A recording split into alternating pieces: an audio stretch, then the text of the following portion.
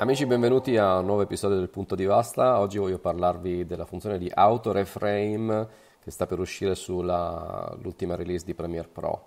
Uno dei problemi sempre più comuni che hanno i videomaker è quello di poter adattare il proprio contenuto video alle piattaforme tra loro molto diverse. In particolar modo siamo sempre un po' combattuti tra il girare un video in orizzontale o in verticale. Se andiamo a dare un'occhiata alle statistiche di accesso ai siti web si scopre che in realtà ormai ben oltre l'85-90% del traffico viene generato dai smartphone ed è per questo motivo che noi vediamo su Instagram video quadrati eh, o video verticali e via dicendo. Ma il videomaker normalmente non lavora in questo modo, il videomaker, il videomaker lavora con una fotocamera, una videocamera e produce immagini in 16 noni eh, rettangolari.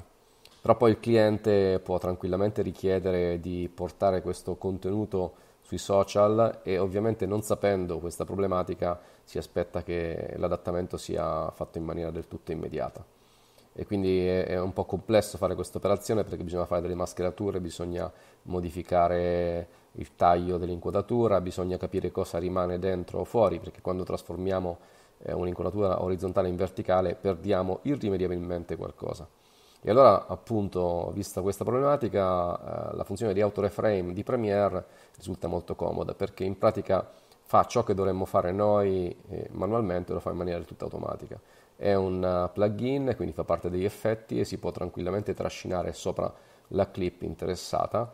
Ha un algoritmo che è in grado di riconoscere qual è eh, l'oggetto diciamo, che idealmente andrebbe lasciato al centro dell'inquadratura.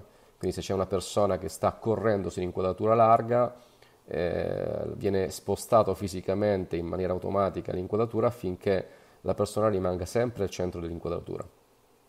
Sicuramente eh, poi vedendo la, la, la, diciamo, il video di preview tutto funziona molto bene, poi all'atto pratico bisogna sempre capire come funzionano queste cose.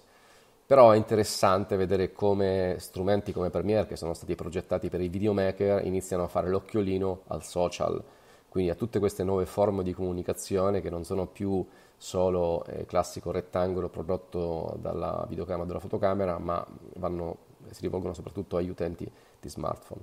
La cosa interessante è che guardando il preview eh, diciamo della, del plugin, però non è ancora uscito, eh, si vede che è possibile intervenire sia sulla singola clip, ma anche a livello di sequenza. Per esempio, se noi abbiamo generato un'intera sequenza, che è ovviamente un montaggio completo con testi, immagini e quant'altro, video, eh, si può trascinare direttamente praticamente l'effetto non più sulla singola clip, ma su tutta la sequenza.